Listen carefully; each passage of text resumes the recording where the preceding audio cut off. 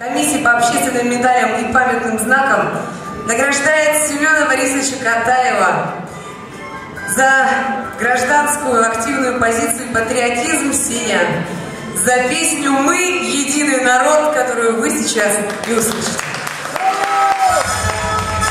Она настоящая, с